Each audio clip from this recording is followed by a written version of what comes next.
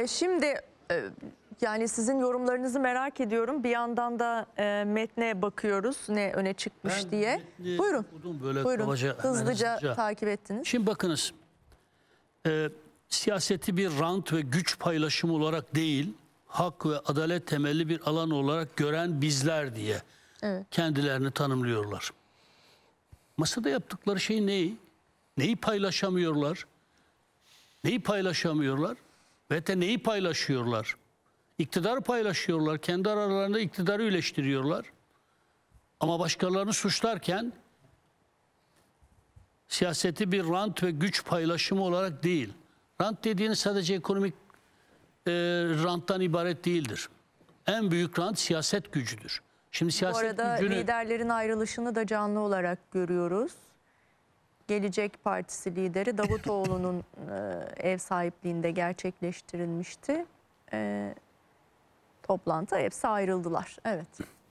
Şimdi en büyük rant siyasi gücün temerküzüdür ve de siyasi gücün elde edilmesidir. Şimdi siz siyasi gücü nasıl elde edeceğinizi, kendi aranızda nasıl dağıtacağınızı konuşacaksınız. Ama kendinizi ortak bildiride tanımlarken de siyaseti bir rant veyahut da işte bir güç paylaşımı olarak görmediğinizi söyleyeceksiniz. Ya. Ya siyaset budur zaten. Yani siyaset bir güçtür, güç elde etmektir, güç paylaşımıdır. Yani başkasını suçlama dili niye yani?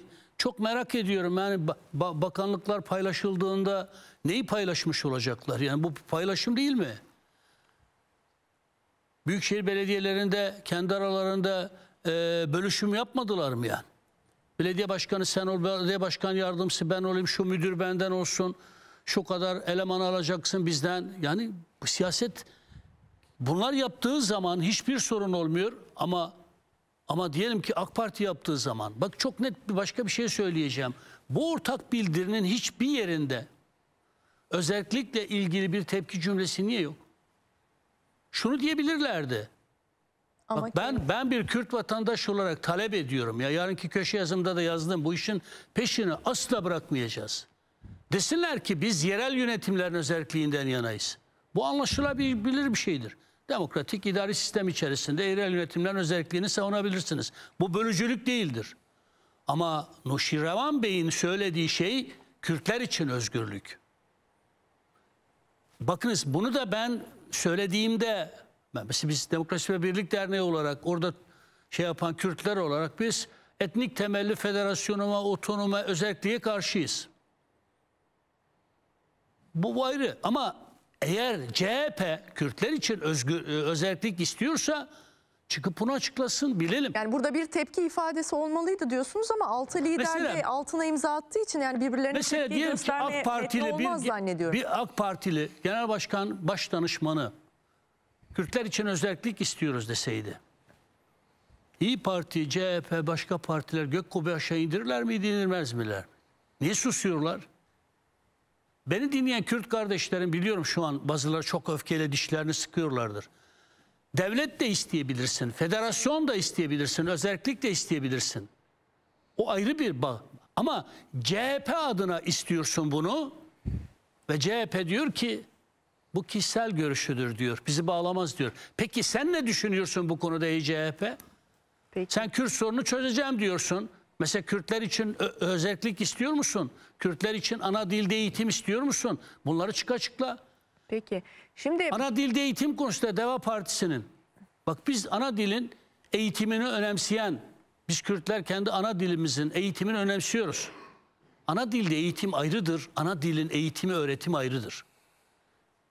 İki bir diğer husus bakınız o Türk vatandaşlığı ya etnikçi değilse, ırkçı değilse herkes kendi kimliğiyle özgürce yaşayabiliyorsa pratikte de temel hak ve özgürlüklerde eşitlik sağlanmışsa artık bu Türk vatandaşlığı tanımına itiraz etmenin bir manası var mı? Bir gereği var mı? Bunu Tabii yeniden bunların- kaşımanın, bunu yeniden kaşımanın bir anlamı var mı? Bunu eğer AK Parti'den biri söylemiş olsaydı veyahut da Mehmet Metine olarak ben şu an kurumsal olarak çok Peki. farklı bir yerde olsam bile söylemiş olsaydım Kızılca kıyamet kopmaz mıydı Başak Hanım? Niye olmasa da Sinan Ateş tabii siyasal bir cinayettir. Kim Evet, yapmışsa onunla yap, ilgili o ayrı bir şey. Kınanabilir.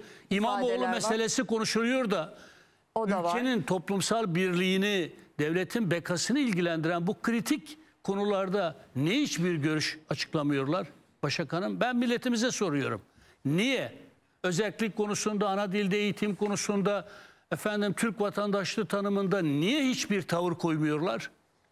Peki şimdi e, birazdan soracağım bu e, istişare e, Ha bir de şu da çok ayıp bir verdik. şey. Ben kınıyorum kendilerini. Haram oylarla iktidar devşirilmez. Artık oylarla. AK Parti, Cumhur İttifakı çok doğru bir şey yaptı. 6 Nisan İttifak- tarihinden Evet. sonrasını Efendim, kabul 6 etmeyin. Nisan öncesinde eğer böyle bir erken seçim kararı alırsanız aslında erken seçim değil. Seçimi biraz da erken alma. Evet. Erken seçim değil bu. Eski şeyle girerseniz ittifak partileri işte ben alamadım sen oyunda benim haneme yazılsın sen oylarınla ben seçilim Elazığ'da olduğu gibi yani MHP seçileceksen CHP adayı seçildi artık oylardan dolayı. Sen haram oylara artık oylara tenezzül eden bir siyasal anlayışı nasıl savunabilirsin ya? 6 Nisan'dan önce yaparsanız o meclisin çıkardığı bu karar, bu kanun yürürlüğe giremeyecek. Buna evet derim. Ama diyelim ki 30 Nisan'da 14 Mayıs'ta seçimi erken alırsam ben buna hayır derim. Bunun neresinde ilke var, tutarlılık var Allah aşkına ya?